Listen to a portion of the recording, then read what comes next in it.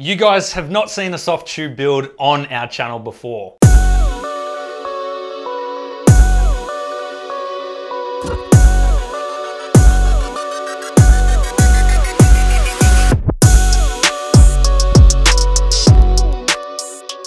G'day guys, my name is Corey and I run the Designs by IFR YouTube channel. Firstly, if you are not subscribed, go ahead and hit that subscribe button for me. Today we want to do something that we have not done in many years before on this channel. A custom water-cooled build using soft tubing. Today we'll be doing a build inside of Antec's brand new DF600 Flux case. Flux stands for Flow Luxury, and this is because of Antec's new airflow design. The case actually comes with five pre-installed fans with three ARGB fans in the front, a rear exhaust fan, and a reverse fan designed for the PSU shroud. The idea is that the PSU shroud fan will bring cooler air from the lower compartment vents and directly cool the GPU, and the remaining intake fans still create that airflow running across the motherboard and out the top and the back of the case. The case has a built-in ARGB and fan controller which controls up to six fans. However, the case can actually fit nine fans inside. The case also comes with four millimeter tempered glass front window so you can view all of your components inside. Now for this particular system, I'm gonna be using a RTX 2080 Ti paired with a 3900X Ryzen CPU